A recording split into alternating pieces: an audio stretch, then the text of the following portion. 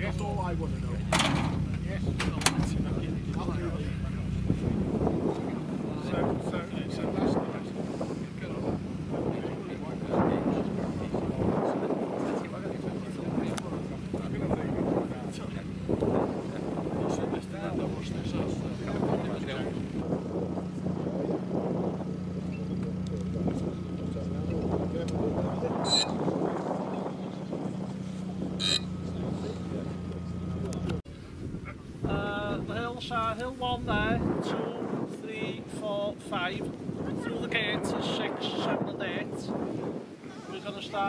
classes A and B on Hill 1, classes C and D on Hill 4.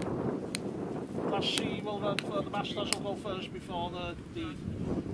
Okay? Two runs in the morning, hand your cards in after the run, then uh, two runs in the afternoon. Carry on. uh, we'll be right now, so... Uh...